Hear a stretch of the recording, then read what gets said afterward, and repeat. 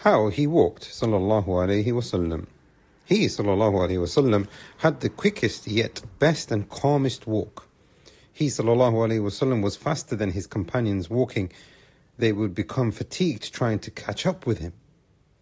He, sallallahu alaihi wasallam, would sometimes walk barefooted or in sandals.